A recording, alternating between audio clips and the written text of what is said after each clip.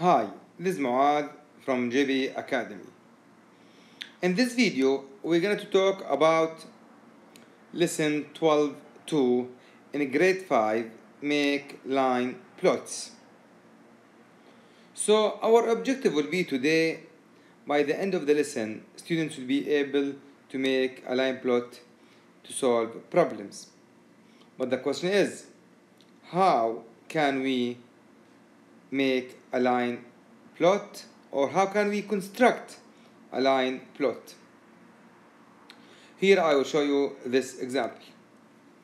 This example is very important because it gives us a complete and deep understanding of the lesson.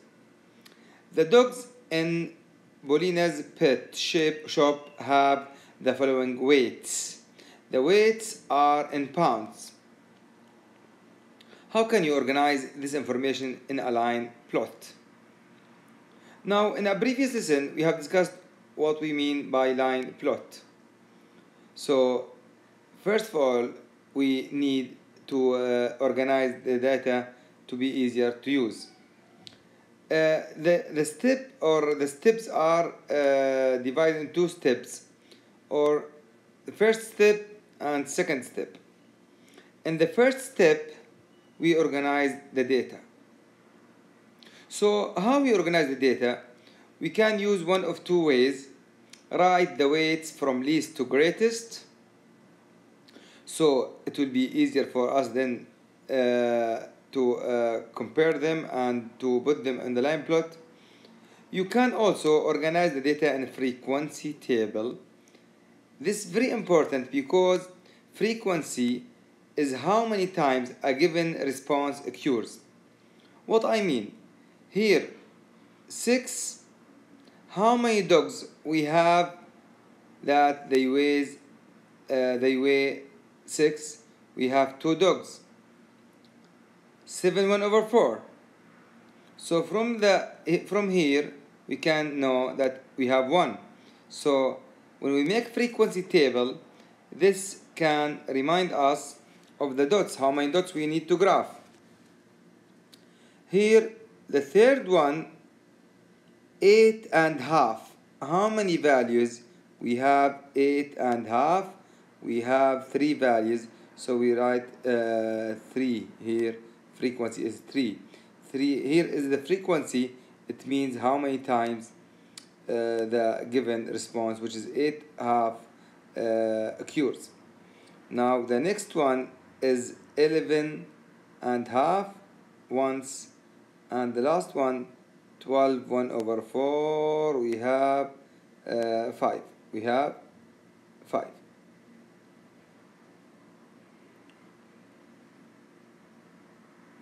so now in the second step we will start making the line plot. So because because we have quarters so we draw a number line but we have to be careful. We have to include the least and the greatest the least and the greatest values in the line plot. So here the least value was 6 and the greatest value was 12 1 over 4 so I start the line plot uh, by 5 and uh, I finish it by 13 here now the least I go to the back to the frequency table or the values which are organized from least to great, uh, least to greatest. So 6 how many 6 we have? How many dogs weigh 6 we have two dogs so we put two dots up to the 6 look the intervals. Here we have quarters. We have here quarters because we have here values with quarters. Now the next value 7 and quarter or 7 1 over 4 so we have one value 7 1 over 4 here we put one dot. And we continue like this. For 8 and half and for 11 and half and for 12 and 1 over 4 we have 5 dogs so we put five dots here. And after that we write the title weights of dogs and here we write the measurement by inches or by pounds. So here we know this means 7 pounds. Here means 6 pounds. So here it means how many dogs? 6 pounds. How many dogs 12 pounds or 12 1 over 4 now let me also discuss with you here another example. Now question number one in the line plot of dog weights on the previous page what does each dot represent let me go back to it. So each dot represent what? It represent a dog or what? It represent the weights of the dogs. So here let me go back to this. Here six. How many dogs we have? Six. Two. So here in this example we talk about the weight of one dog or we can say one dog weight or the dogs or the dog weight. So here we talk about the dog uh, weight. In a line plot how do you uh, determine the value to show on the number line? It's a very important question. When you draw the number line you have to be careful about the intervals as you can see here 0 1 2 3 for example I should include the least value and the greatest value. What I mean look at this example here. The least value 3 and half and the greatest value is 8 1 over 2 so in this example I can start the number line by 3 so 3 and a half will be included.